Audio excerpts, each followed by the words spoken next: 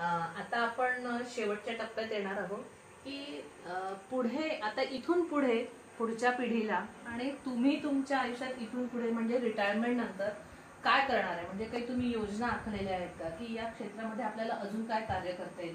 एक सामाजिक कार्य म्हणू शकता किंवा याच्यातच आपल्याला काय एक गुरुकुल पद्धती किंवा एक गुरुकुल बनवायचं आहे का? आणि आपल्या चंद्रपूरमध्ये काय करायचं आहे? भविष्यात काय करायचं आहे? आणि मुलांना परत याच क्षेत्रात कुठे जायचं आहे? तर ह्याबद्दल तुम्ही आम्हाला जरा सांगा. माझी एक तीव्र मनीषा आहे की मी चंद्रपूरसाठी तर काही करणं हे देणं लागतंच माझं. चंद्रपूरसाठी. चंद्रपूरसाठी तर करायचंच आहे पण आज गुरुकुल पद्धत गुरु परंपरा फार कमी ठिकाणी सुरू आहे. तर ती मी माझ्याकडून कंटिन्युअसली होत राहावं कंटिन्युअली हम्म. कंटिन्युअसली त्यासाठी माझी जी अकॅडमी आहे द रिझम अकॅडमी सांगली त्याच्या ब्रँचेस कशा वाढतील. चांगले टीचर्स कसे तयार होतील? त्यात चांगले विद्यार्थी कसे घडतील? त्याकडे माझं जास्त लक्ष आहे.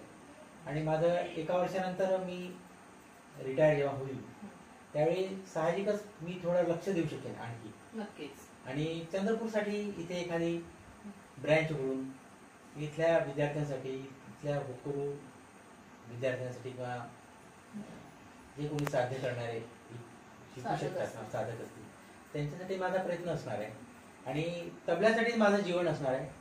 आणि की मला एक समाधान चांगलं लागू शकेल की जेव्हा माझे विद्यार्थी ते गुरुकुल पद्धतीने पुढे जातील. वारसा तो कायम हा वारसा कायम. तेव्हाच मला माझ्या मनाला यासाठी माझे प्रयत्न असणार. खूप छान सर. आज आपल्या आजच्या कार्यक्रमामध्ये तारमणी पंडित मनमोहन नारायणराव कुंभारे होते. आणि त्यांनी त्यांचा जीवनाचा पूर्णपणे प्रवास इतका सुंदर सांगितला त्यांनी अनुभव सांगितले. देवाचा त्यांना कसा कसा आशीर्वाद मिळत गेला त्यांनी कसे कसे प्रयत्न करून आज ते यशाच्या या शिखरावर पोहोचलेले आहेत म्हणजे खरंच खूप मोठी साधना आहे आहे ही.